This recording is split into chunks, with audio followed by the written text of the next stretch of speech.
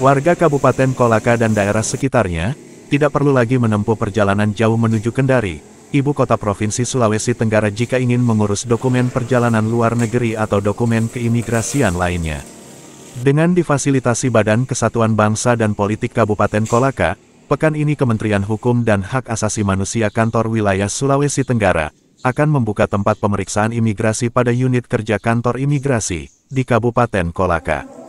Unit kerja tempat pemeriksaan imigrasi Kolaka ini terletak di Jalan Konggoasa, tepatnya di Gedung Bekas Islamic Center Kolaka, persis di belakang kantor Polres Kolaka, atau di samping Plaza Telkom, tidak jauh dari alun-alun 19 November, Kelurahan Lamokato. Persiapan operasional unit kerja kantor imigrasi Kolaka telah dimulai beberapa waktu lalu, saat Kepala Kantor Imigrasi Kelas 1 Kendari, Wira Zulfika meninjau lokasi persiapan kantor pada Selasa tanggal 9 Januari lalu.